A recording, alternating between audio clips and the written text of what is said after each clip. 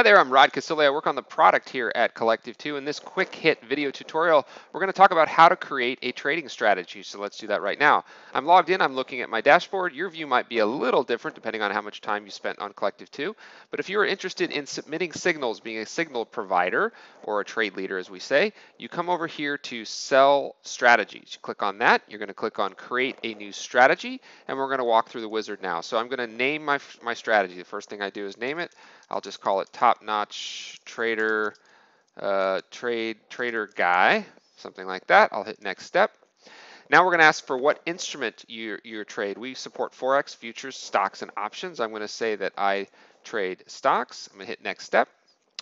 Now, this is where some people get hung up at creating uh, the model account. So the model account, this is a simulated trading account. At some point in the future, your signals might be followed with live capital by subscribers. But for now, you're just setting up a, a test system here that you're going to kick the tires, figure out how it all works. So um, I'm just going to select $10,000 here. Now, again, that this completely depends on your trading style, your trading signals, and the amount of capital that you believe is necessary for a subscriber to follow along.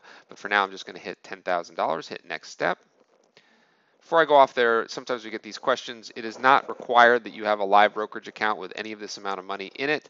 Again, it's just the amount that you feel is necessary for your signals to be traded. Okay, now we're going to come in in how much you charge your subscribers. Uh, you can click this little hint if you'd like. I'm just going to say $99 a month and 14 day free trial, trial period. You can set this to any amount that you'd like, and of course you can uh, not have a free trial period if you don't like. And again, we're just setting this up as a test system. We're going to be able to um, submit five trades, and then after five trades, we do ask that you pay. We hope that you love it.